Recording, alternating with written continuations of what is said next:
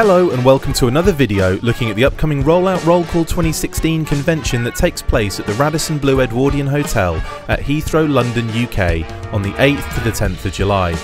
I'm Chris McLeod from the Full Force podcast, and following up from the Neil Ross video we posted yesterday, we take a look at another legendary voice artist, Morgan Lofting. Known for her awesome performances in the G.I. Joe Sunbow and DiC cartoons, she has also featured in a long list of other franchises, including Jem, Ben 10, Spider Man, and Transformers.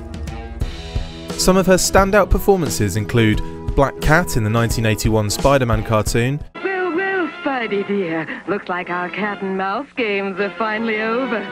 Now you'll see that there's more than one way to skin a Spider-Man. Fistina, also my nickname in college in Ben 10 Omniverse, I am good guy. You know this, right? On Earth, it is the pride color.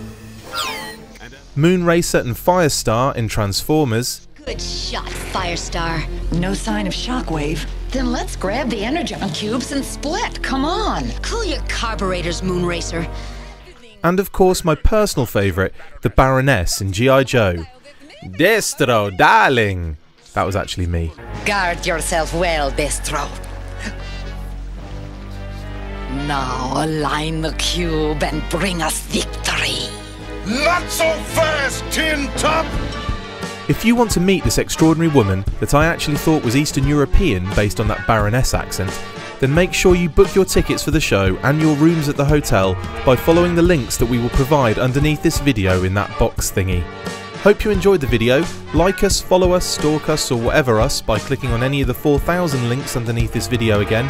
I have been Chris McLeod from the Full Force. See you at Rollout Roll Call 2016.